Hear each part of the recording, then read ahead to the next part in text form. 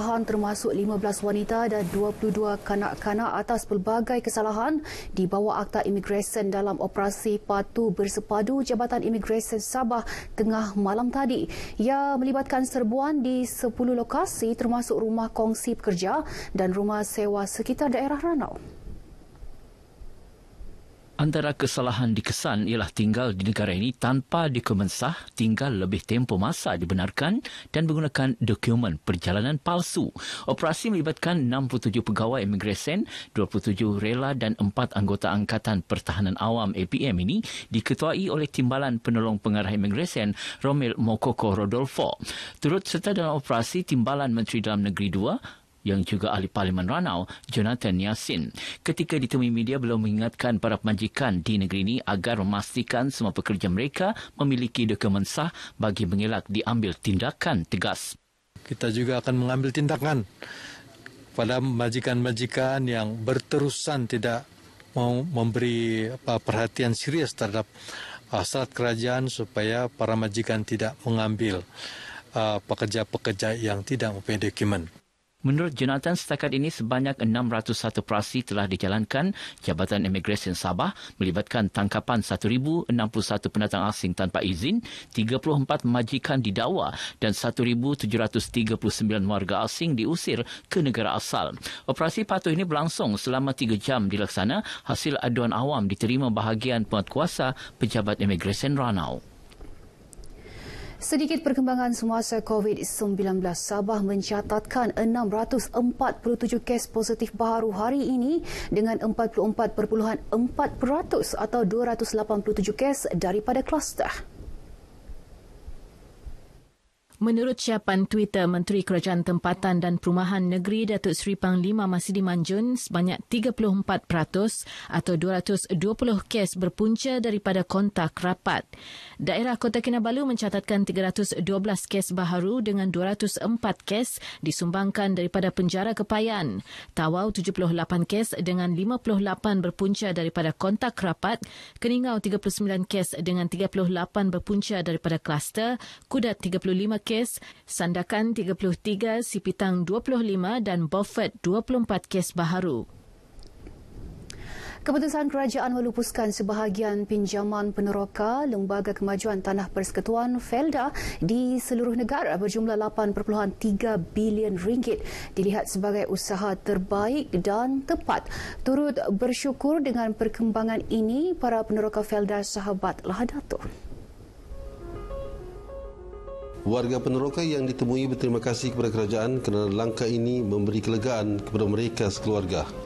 Amat bersyukur dan berterima kasih ke, kepada Perdana Menteri daripada pelubusan hutang ni kami agak lega lah sikit gembira dengan atas pengumumannya. Kami sebagai generasi kedua bersyukur Alhamdulillah kepada Allah SWT kerana PM telah mengumumkan pelupusan hutang peneroka pada baru-baru ini dan kami bersyukur Alhamdulillah juga lah dapat meringankan beban kami sebagai generasi kedua Felda. Saya amat-amat berterima kasih dengan kerajaan sekaligus dia dapat mengurangkanlah beban kami warga penerokah. Sementara itu, Ketua Bahagian Parti Peribumi Bersatu Malaysia Bersatu Lahadatu Abdul Hakim Gulam Hassan berkata, Pelupusan sebahagian pinjaman ini bukti kerajaan sangat menghargai peranan para peneroka yang memaju sektor komoditi perdagangan khususnya kelapa sawit. Ia wajar dilaksana untuk membantu peneroka yang mengalami kesukaran berhadapan dengan impak pandemik yang telah berterusan lebih setahun. Kita mengucapkan banyak-banyak terima kasih kepada Yang Amat Berhormat Tan Sri Muhyiddin Yassin selaku Perdana Menteri Malaysia yang mana beliau uh, begitu prihatin terhadap uh, nasib uh, peneroka-peneroka Felda penghapusan uh, hutang ini kepada peneroka ini sudah pasti menjadi satu uh, berita ataupun kabar gembira khususnya kepada peneroka. Beliau mengharapkan para peneroka Felda Sahabat Hadatu mengambil kesempatan ini membantu menaikkan taraf hidup dan ekonomi serta memperbaiki kehidupan sosial mereka. Langkah kerajaan untuk menghapuskan hutang peneroka sebanyak 8.3 bilion ringgit sekaligus memperlihatkan keprihatinan kerajaan dalam usaha memastikan rakyat di negara ini sentiasa terbela terutama sekali dalam menghadapi pandemik COVID-19 yang melanda negara ini. Tamrin Jamil untuk berita RTM. Lembaga Kemajuan Tanah Negeri Sabah LKTNS membelanja 2.3 juta ringgit bagi program baik pulih 100 rumah termasuk 12 rumah bina baru untuk peneroka dan peserta di bawah LKTNS pada fasa pertama tahun ini. Tahun lalu 43 rumah berjaya disiapkan melalui program sama di kawasan rancangan Suan Lamba Kinabatangan, rancangan Sungai Manila Sandakan dan rancangan Apas Balong Tawau. Pengurusi LKTNS Datuk Abdul Ghani Muhammad Yassin berkata program ini merupakan tanggungjawab sosial korporat CSR LKTNS di bawah peruntukan Projek Perumahan Rakyat Termiskin PPRT Kementerian Pembangunan Luar Bandar bagi menjaga kebajikan golongan berkenaan. Tumpuan kita ialah untuk membaik pulih dan juga membina baru rumah PPRT ini dan kita telah kenal pasti peserta-peserta yang memerlukan itulah dan hari ini uh, kita telah pun memanggil beberapa peserta uh, penerima uh, bantuan-bantuannya lah. Datuk Abdul Ghani ditemui RTM ketika menyampaikan bantuan baik pulih rumah, bantuan orang kurang upaya dan bantuan bakul makanan kepada peserta LKTNS, rancangan Suan Lamba di Kinabatangan dan rancangan Silabukan di Lahad Datu. Saya mengucapkan terima kasih lah atas bantuan baik pulih rumah beliau ni lah. Ya, terima kasih banyak-banyak kepada SLB lah. Saya ucapkan terima kasih juga lah. Cuma program begini untuk apa SLB. Terima kasih banyak-banyak juga lah. Mengucapkan banyak-banyak terima kasih. Terima kasih yang mana pihak lembaga dapat memberi prihatin kepada semua peneruka seperti mana yang telah diadakan pada pagi ini.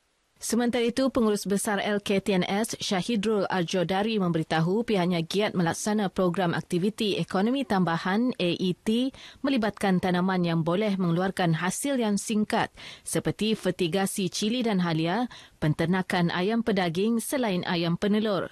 Yang ini tujuannya satu saja sebab dalam tempo kita apa menunggu projek penanaman semula tu di berbuah ah, berhasil akan menambahkan pendapatan para peneroka dia lah. Setiap peneroka AET akan diberi latihan, dana teknologi dan tempat untuk membantu mereka menambah pendapatan seterusnya menjadi usahawan. Sebanyak 32 masjid dalam kawasan Dewan Undangan Negeri Dun Lumadan dijadikan food bank untuk keperluan penduduk terkesan COVID-19 yang merupakan inisiatif wakil rakyat kawasan berkenaan dengan kerjasama ahli jawatan kuasa masjid terlibat. Pewujudan Food Bank ini mendapat reaksi baik orang ramai yang melihatnya usaha murni membantu mereka yang terputus bekalan makanan.